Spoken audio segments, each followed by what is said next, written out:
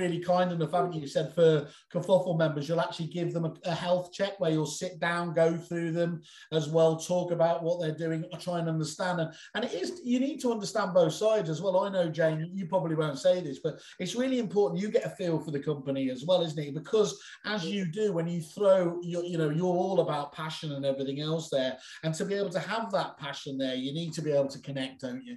Yeah, I need to I need to be part of the team firstly. I'm not an outsourced person that you don't see. I have to be part of it because I need to know what the vision is, what the what your drive is, where your business is going, what you want from it.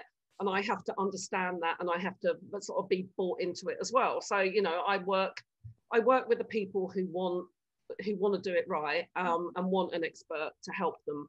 I can't. I, am not the sort of person that can just post. You know, no. I look at it and I, uh, I, I, wouldn't do that. I don't think there's any point. I think uh, you're better off not bothering personally, um, or make it about your brand and your people and your your whole you know being. Put that out there, and you know you've got this massive, massive platform where you can really showcase your niche. And if you're not prepared to do it, then don't bother at all. No, exactly. Well, look, that's a perfect time. I mean, go first of all, you know, have that session with Jane as ever. Go, yeah. Always go to the, the landing pages, go see JP Gardner and Associates, see the reviews there, see the reviews that are some of the very best people in the industry.